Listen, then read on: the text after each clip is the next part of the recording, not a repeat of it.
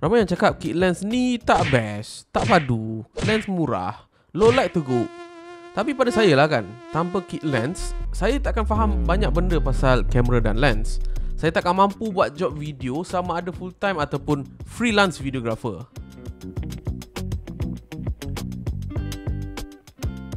Okey, sebelum tu, apa itu kit lens? Tak ada takrifan yang mudah pasal kit lens ni Tapi according to improvephotography.com Dia dalam bahasa Inggeris uh, Why not kita buat dalam bahasa Melayu? So dalam bahasa Melayu dia Dan saya selitkan sekali sedikit technical. Apa-apa lens yang datang sekali dengan kamera yang korang beli Yang mana biasanya didatangi dengan focal length 18-55mm Dan variable aperture f3.5 sehinggalah 5.6 Contoh kit lens dalam tangan saya ni adalah lens Sony 1650mm f3.5 hinggalah 5.6 OSS ataupun nama dia Optical Steady Shot yang didatangi sekali waktu saya beli Sony ZV E10 saya. So, saya nak highlightkan satu je benefit untuk video kali ni tapi benefit inilah yang mematangkan saya dalam ilmu videografi. So, apakah dia? Iaitu variable focal length. Kalau ikutkan kit lens ni lah kan Dia ada range wide Sampailah ke telefoto Ataupun bahasa mudah dia zoom lah. Yang mana kalau kita tengok prime lens Ataupun mana-mana lens yang tidak ada variable zoom Macam 35mm, 50mm, 85mm Kita tak perlu nak tukar-tukar lens Untuk kita dapatkan range yang kita nak. Ah, dan sebenarnya kadang nak range wide telefoto ini bukan sebab zoom Tapi nak nampak subjek kita makin besar ataupun makin kecil tak faham kan? Ha, ini contohnya. Paling mudah korang tengok je GIF ini dan korang cuba perhatikan apa beza dia.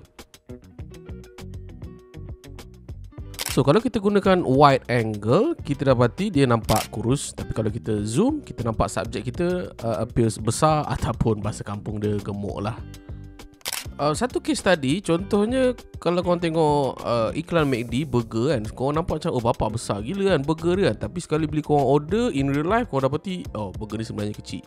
So ini adalah kaedah klasik yang mana dia hanya menggunakan telephoto lens untuk dia nampakkan uh, makanan itu appears bigger than it should be lah. Tapi Cikgu Luan, bila kita zoom, misal kata kita nak shoot muka, bukan ke kita akan nampak batang hidung dia je ke? Ha, Persoalan yang baik. Ha, Macam mana nak dapatkan efek-efek yang saya dah tunjukkan? Okey, pertama sekali korang shoot je wide macam biasa. Nampak muka. Kemudian barulah korang zoom jadi 50mm So, uh, korang just tertumpu pada hidung betul tak? Sama ada ke belakangkan kamera Ataupun anda pergi belakang sambil kekalkan 18mm tadi. Seperti ini. Tada! Solved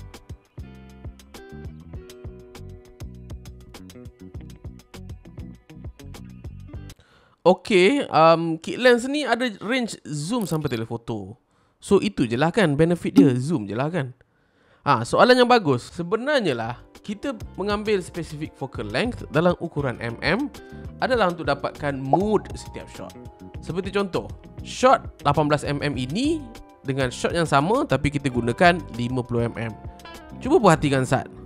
Korang rasa macam like shot 50mm ni lebih dramatik kan nak dibandingkan dengan 18mm. Rasa macam 18mm ni pun shot dia agak kelakar ataupun nampak like something weird is going on there. Kenapa eh? Cuba perhatikan once kita zoom apa jadi pada size subjek itu, uh, itu kita dah clear lah kan. Tapi perhatikan pada background. Kalau kita gunakan focal length wide, anda nampaklah pokok di belakang secara penuh. Tapi once kita zoom Pokok tu tiba-tiba jadi dekat dengan frame. What the heck is going on?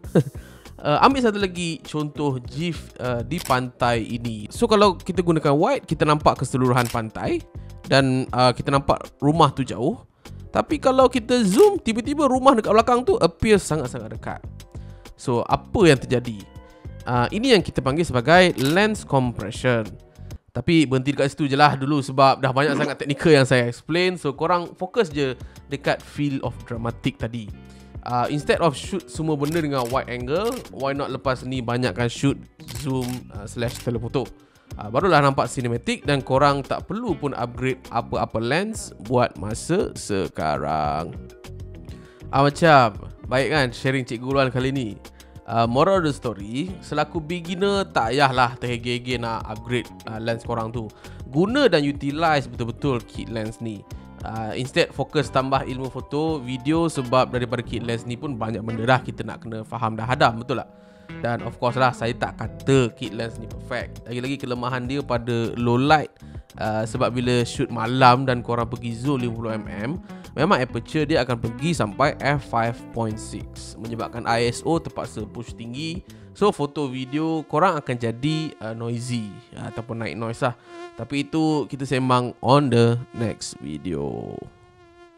Apabila guys tak tahu mengenai video tinggal video itu semua Korang boleh roger dalam ruang komen bawah Supaya saya boleh buat video upon request you guys Itu saja bersaya saya Cikgu Luan Saya bergil Saya Hutan